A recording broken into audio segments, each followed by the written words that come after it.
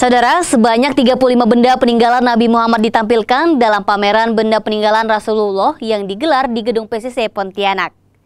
Tidak hanya mengundang antusias warga, pameran ini juga menimbulkan rasa haru sebagian besar warga yang hadir. Warga antusias hingga rela mengantri untuk mendapatkan tiket masuk demi menyaksikan pameran artefak peninggalan Nabi Muhammad yang digelar di Gedung Pontianak Convention Center. Sebanyak 35 benda peninggalan Rasulullah dan para sahabat dipamerkan, mulai dari jejak kaki Rasulullah, panah, siwak, permadani, rambut, cawan minum Rasul, hingga ekstra keringat Rasulullah.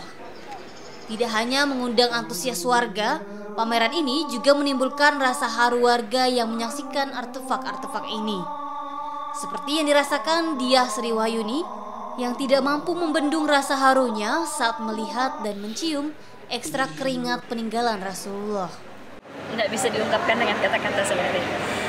Uh, sayang sih kalau tidak nangis sebenarnya, tapi air mata itu Allah yang izinkan menyaksikan secara langsung.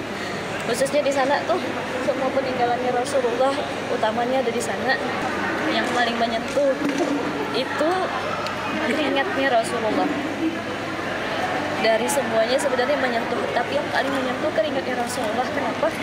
Sahabatnya tidak rela sebenarnya keringat Rasulullah tuh netes ke tanah.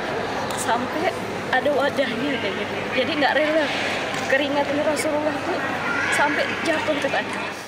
Pameran artefak ini digelar dalam rangka memperingati hari jadi Pondok Tafis Askaf Milenial ke-6 tahun sekaligus menunjukkan eksistensi para santri Pondok Pesantren di Kalbar yang tidak hanya sebagai penghafal Al-Quran, tetapi juga dapat berkarya dalam menyelenggarakan acara yang bermanfaat untuk masyarakat. Di bulan November ini milad ke-6 tahun.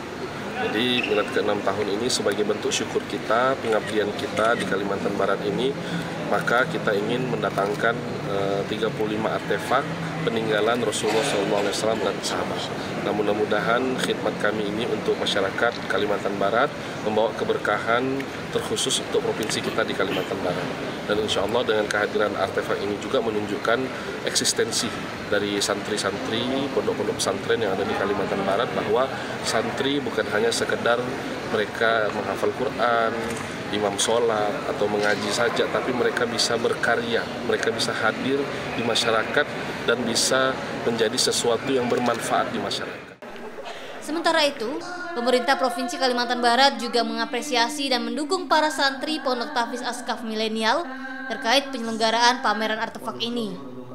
Sebab selain sebagai wujud mengobati kerinduan kepada baginda Rasulullah, sekaligus mengajak umat muslim untuk mengenal Rasulullah lebih dekat melalui benda-benda peninggalannya.